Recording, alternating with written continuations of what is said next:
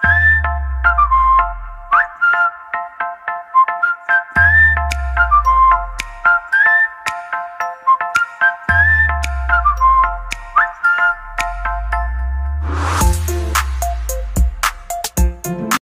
Hello guys, pag-usapan lang natin si Catherine Bernardo. Ayon guys sa lahat ng naririnig natin sa social media na talagang pinag-uusapan guys si Catherine Bernardo at Alden Richard. Ang iba naman guys ay naniniwala talaga na sila na.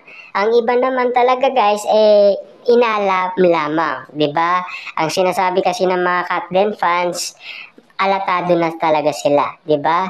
At ayon naman guys sa mga legit na nagbabalita o mano katulad ni Ogie Diaz at Christopher Min ay naniniwala sila na kung ano man ang nakikita guys ng mga Catden fans, yun din ang kanilang paniniwala, 'di ba? At ayon naman sa iba guys, eh kung talagang ano man ang kanilang banding moment at kung bakit nga naman kinikilig karamihan ng mga tao sa kanila, 'di ba? At uh, kung ano nga ba talaga ang tingin nila o nararamdaman nila kapag spotted nga naman si Catherine Bernardo at Alden Richard kung ano man ang nakita nila guys. Kapansin-pansin kasi guys na napaka-romantic kasi guys kapag sila ang nakikita, ba?